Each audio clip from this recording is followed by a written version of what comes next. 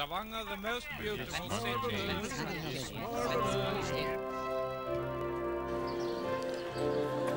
I morgentimene fikk Stavanger oppleve fem minutter med oppholdsvær og sol.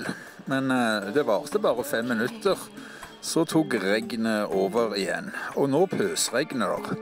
Og det skal pøsregne stort sett hele dagen, men det kommer til å være et lite opphold med antydning til sol midt på ettermiddagen.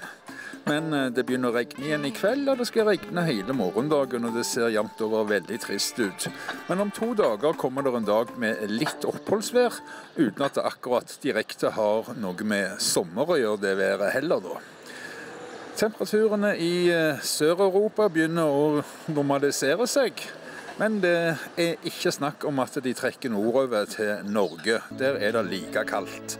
Ha en riktig, riktig god lørdag i Stavanger.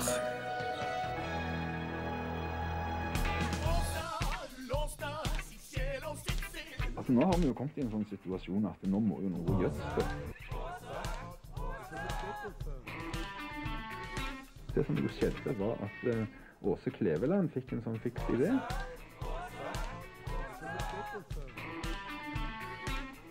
Sa at nå skal det kun være én lokal-TV i hver region. Det er hedenskap.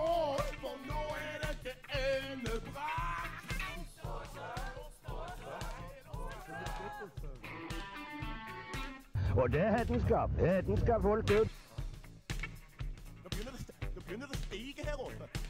Det som fremgår denne kringkastingsloven, det er bøter eller fengsel inntil seks måneder for overtredelse av denne loven.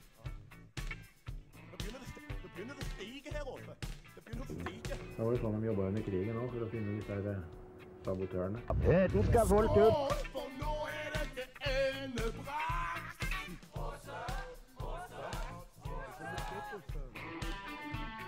If you don't have any art, you're pretty much lost.